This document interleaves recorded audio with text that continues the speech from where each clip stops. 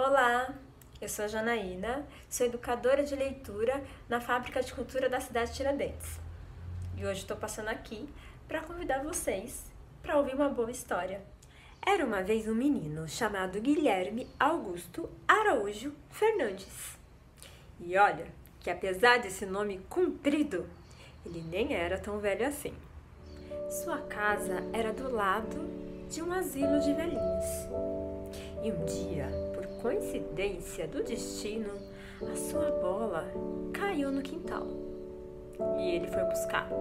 E com isso, ele fez novos amigos. Estava do senhor Silvano, aquele que tocava piano. E ele ouvia histórias arrepiantes do senhor Cervantes. E brincava com o senhor Valdemar, aquele que adorava remar. E ajudava a senhora Mandala, que andava sempre com uma bengala. E admirava o senhor Poçante, porque ele tinha uma voz gigante. Mas a pessoa que ele mais gostava era uma só. Era a senhora Antônia Maria Diniz Cordeiro. E sabem por quê? Porque assim como ele, ela tinha esse nome comprido. Ele a chamava de Dona Antônia, pra ficar fácil. E assim contava todos os seus segredos. E vocês? Para quem que vocês contam os seus segredos? Mas um dia ele escutou sua mãe e seu pai conversando que a Dona Antônia estava perdendo a memória. Perdendo a memória.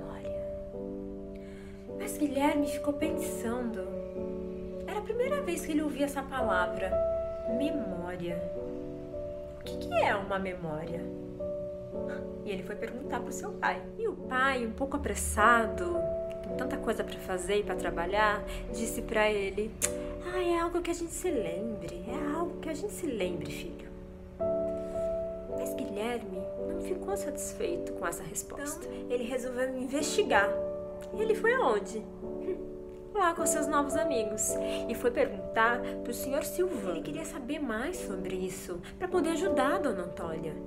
Então ele perguntou primeiro para o senhor Silvano, aquele, lembram? Que tocava piano? E ele perguntou: Senhor Silvano, o que é uma memória? O senhor Silvano disse: ah, meu filho, uma memória é algo quente, muito quente. Então Guilherme anotou essa informação, que a memória podia ser algo quente. Mas ele continuou a sua investigação e foi perguntar para o Sr. Cervantes, aquele que lhe contava histórias arrepiantes. E o Sr. Cervantes disse que uma memória é algo muito antigo algo muito antigo. Hum, então, uma memória é algo quente e algo antigo. Tá quase chegando lá. Então, Guilherme foi perguntar pro senhor Valdemar, aquele que adorava remar. Seu Valdemar, o que, que é uma memória? Ah, o seu Valdemar, com lágrimas nos olhos, disse que uma memória é algo que faz chorar algo que faz chorar. E para vocês, o que é algo que faz chorar? Quando eu lembro da minha avó, é algo que me faz chorar. Então ele foi procurar a senhora Mandala, aquela que andava só com uma bengala, lembra? E perguntou para ela o que era uma memória. E ela disse para ele, com um sorriso nos lábios, que uma memória era algo que fazia rir, que fazia rir muito. E os dois deram uma bela de uma gargalhada.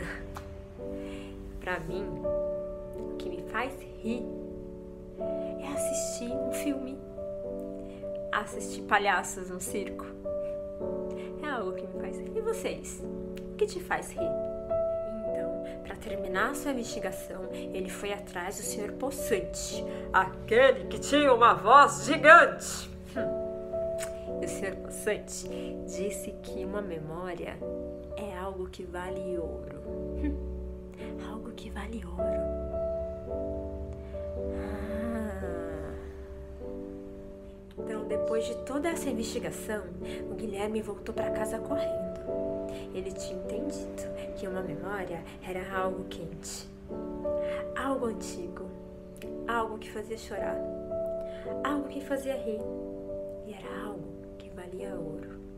Correu para casa para procurar memórias, coisas que ele podia ajudar a Dona Antônia a lembrar de sapato, cheia de conchas antigas de quando ele tinha ido para a praia. Igual ele achou também uma marionete, que sempre que ele brincava com essa marionete, fazia todo mundo rir. Ele lembrou com tristeza do seu avô, quando ele achou uma medalha que o avô tinha dado para ele. Depois achou sua bola de futebol, que para ele valia ouro. Entrou no galinheiro e pegou um ovo que ainda estava quentinho e pintou todo esse ovo. E levou para Dona Antônia. Então foi visitar a Dona Antônia e deu para ela uma por uma de cada coisa que estava na sua cesta. Cada memória que estava ali, mágico aconteceu. A dona Antônia começou a se lembrar. Quando ela pegou o ovo quentinho na mão, ela lembrou do quintal da casa da tia dela. Quando uma vez ela achou num ninho um ovo parecido com aquele. Ela encostou uma das conchas no ouvido. E ela lembrou do dia que ela foi para a praia e da sensação da água batendo nos seus pés. Ela então pegou a medalha na mão e lembrou do seu irmão que tinha ido para a guerra e nunca mais tinha voltado, deixando uma saudade. Ela pegou a marionete e lembrou na hora da sua irmã, de quando elas brincavam a tarde inteira com os brinquedos que elas tinham no quarto. Quando ela pegou a bola do Guilherme, ela lembrou primeiro dia que ela conheceu Guilherme, quando a bola de futebol dele caiu no quintal. E assim eles passaram a tarde trocando segredos e fazendo assim uma grande amizade.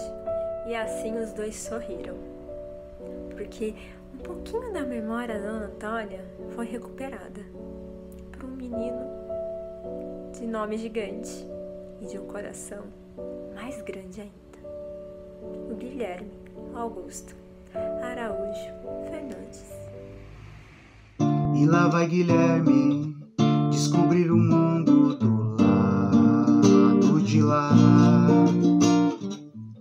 onde as memórias e as velhas histórias ali parecem habitar.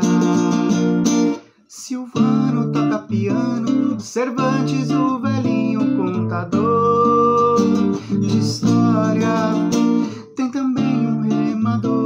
de bengala vem a senhora mandá-la.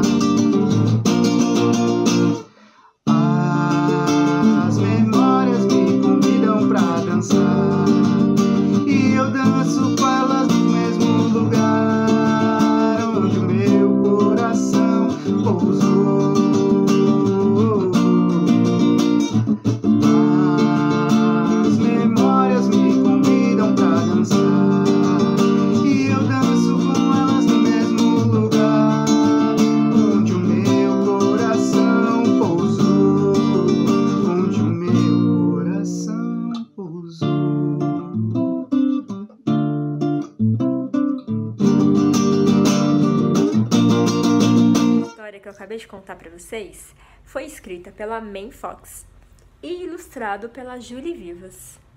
E é da editora Brinquebook. Espero que tenham gostado da história e até a próxima!